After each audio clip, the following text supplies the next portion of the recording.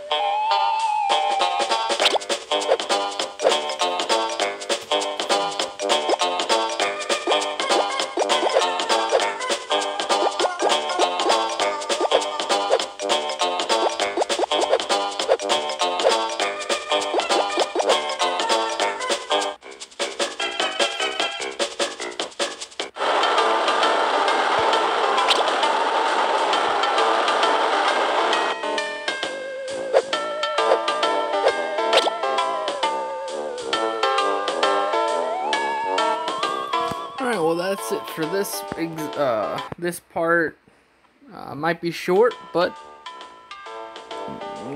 we just need to get going with these videos.